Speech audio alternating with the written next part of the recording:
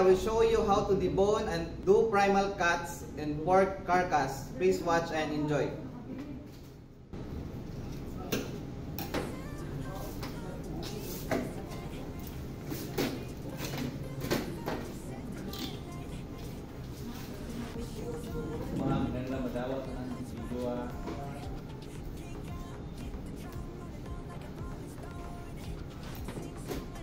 Oh!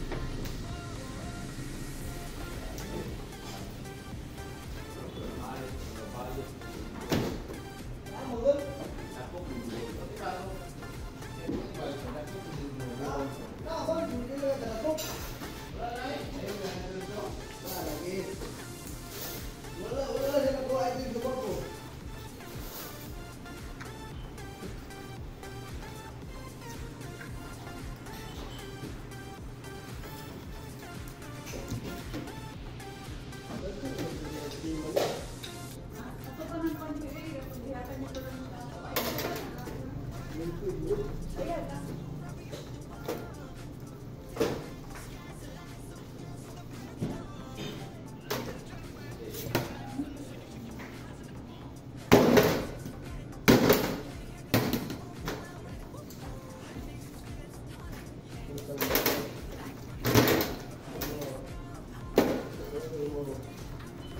그 중간에